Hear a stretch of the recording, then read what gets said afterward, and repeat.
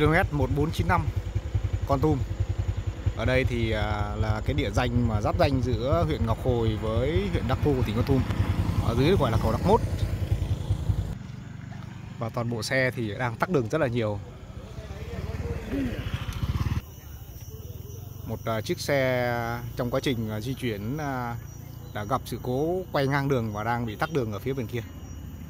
Phía bên à, à, hướng Đắc Tô đi Ngọc Hồi Đấy. Đó, chị gọi thấy chưa? Và bây giờ chúng ta sẽ di chuyển lên đấy một chút.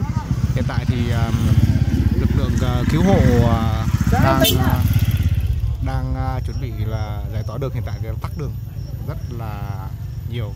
Một số chiếc xe thì đang quay đầu lại rồi và chúng ta sẽ đi lên đấy một chút nhé. Và cái đoạn này thì các bác à, tài xế đặc biệt là tài xế mới thì à, hết sức lưu ý. Gọi là trời mưa thì các bác à, cố gắng là nhẹ chân ga nhá. Hiện tại thì chiếc xe, những chiếc xe cẩu, xe cứu hộ thì chưa thấy hoạt động. Có nghĩa là đơn vị chức năng còn đang làm hiện trường thì phải. Chiếc xe này nó nằm chắn ngang quốc lộ 14 luôn. Ở đây là hướng, ở đây là, là huyện Đắc Tô. À, Lực lượng xe công an rất là đông. Xe nó chắn trên kia luôn. Vâng, gây ách tắc rất là dài Tức là hàng đoàn xe ở trên kia khả năng trong nhiều giờ tới thì cái cái cái cái cái đoạn đường từ um, tuyến tuyến đường mà quốc lộ 14 ở địa phận giữa Đắc Tô và Ngọc Hồi thì chưa thể thông được. À. Đây mình à, thấy là xe ở trên kia rất là nhiều, đó là cầu cầu Đắc Mốt. À, xe nó nằm ngang luôn. Xe chở gì? Uh... Xe chở uh, sứ điện đấy, À. điện với sắt. Mà nó đi hướng hướng nào tới ha? Đấy, hướng đó đó. Mà sao nó xoay ngang quá? Tum đi, đi, đi tum tum một hồi đúng không? Đang xuống dốc đúng không? Là xoay ngang luôn. Nó đá vào cái lăng can nó đâm vào cái lăng can nó lết bánh đâm. À, gọi là đụng vào lan can xong rồi lết bánh xoay tròn luôn á, nằm ngang luôn. Ủa, vết lết này, lết xe này. Xe lết ờ, dọc cái chỗ này. Sau đó thì ờ, đâm vào cái lan can, sau đó thì quay ngang xe luôn. Đây, bảy cái lan can đầu sắt luôn. À, xe rất là nặng chở thiết bị um, sứ điện bay hết cả luôn yeah. có nghĩa là là cái tắc đường này thì chắc còn à, diễn ra trong à, nhiều giờ tới công tác cứu hộ thì vẫn chưa được tiến hành nhưng mà may cái này đâu không được mấy đâu ở ba thôi chứ cái gì nó sứ là bữa mấy qua được. Chiếc khoai mì rung từ trên kia heo heo xuống đây. Lùa hết xong xong tuyến kia Và lực lượng à, à, cảnh sát giao thông với lại công an đang bảo vệ hiện trường hiện tại thì chưa có cứu hộ cắn cái này là cắt thêm này cái gì này đã cho một chiếc rác taxi nó mở rộng hai đầu là này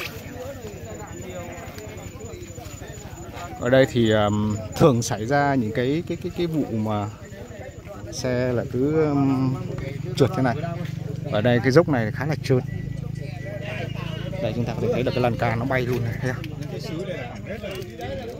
sứ điện uh, của hệ thống của sứ điện cao thế thiết bị này nặng lắm. Cái này rất là nặng tải trọng rất là khá là nặng. Không có một cái lối ngã đi bộ phải đi ra ngoài đi. Chắc chắn là công tác cứu hộ còn phải nằm à, còn phải kéo dài trong nhiều giờ tới.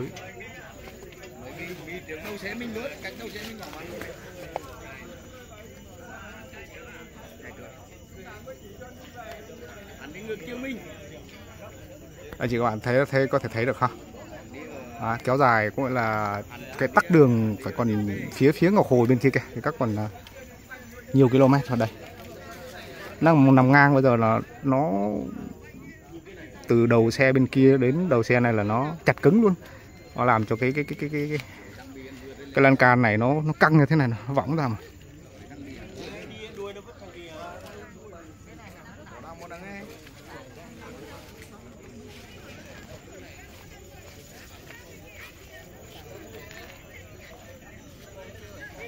Một chiếc uh, kiểu như là xe Camat của công ty sứ kỹ thuật Minh Long 2 Trà nhiều lắm.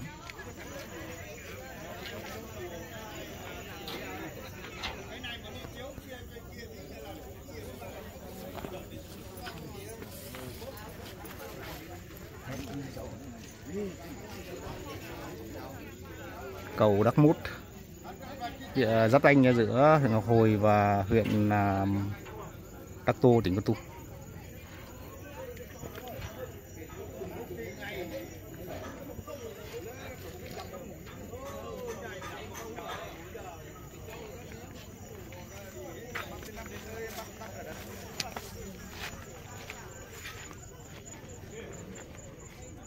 đây.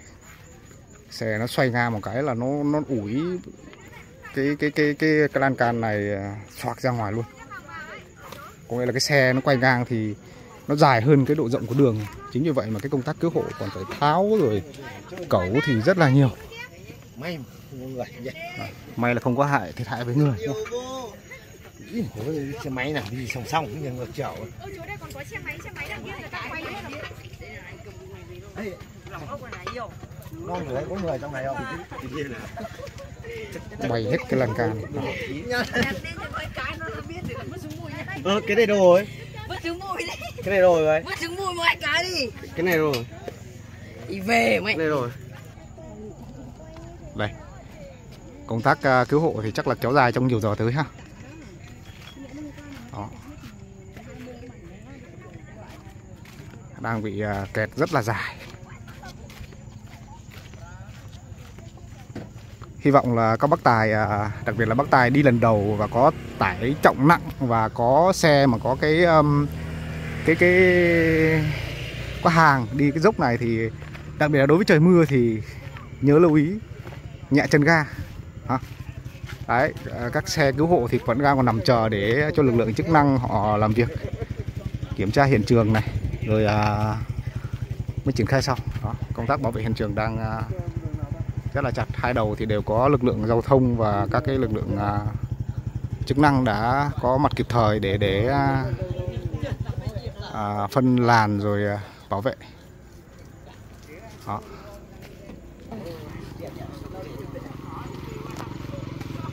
Rồi các bác tài à, lưu ý nhé Quốc lộ 14 đoạn à, à, Cầu Đắc Mút Đi à, giáp danh giữa huyện Ngọc Hồi và huyện Đắc Tô của tỉnh Con Tum Thì à, các bác à, nhớ nhẹ chân ga nhá. Đặc biệt là đối với trời mưa xe Các bác đi lần đầu và có xe có tải thì hãy hết sức. À, Hết sức cẩn thận.